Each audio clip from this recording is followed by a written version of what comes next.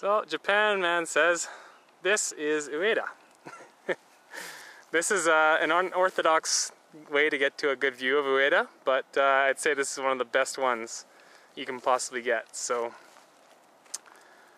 over here is the downtown and the Shinkansen track.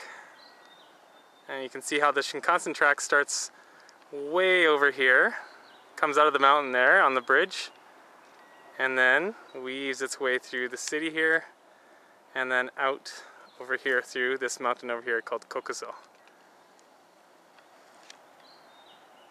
So up here I go running quite a bit. I did a, my Japan gross grind from this mountain.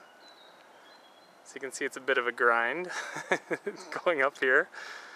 And then we've got our home it's got now I gotta be I'm definitely gonna be able to find it because it's this factory over here is pretty close. So anyway I'm probably gonna find it after we get back but I think that's it. And sorry it's getting a bit shaky now because of course I'm zooming in big time. But anyway.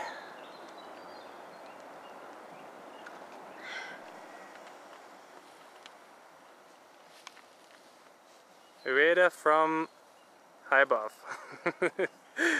Thanks for watching. John. Talk to you later.